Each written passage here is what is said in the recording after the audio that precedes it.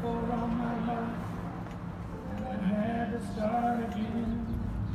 Just my children and my wife, and I thank my lucky stars to be living here today. The flag still stands for freedom, and they can't take it.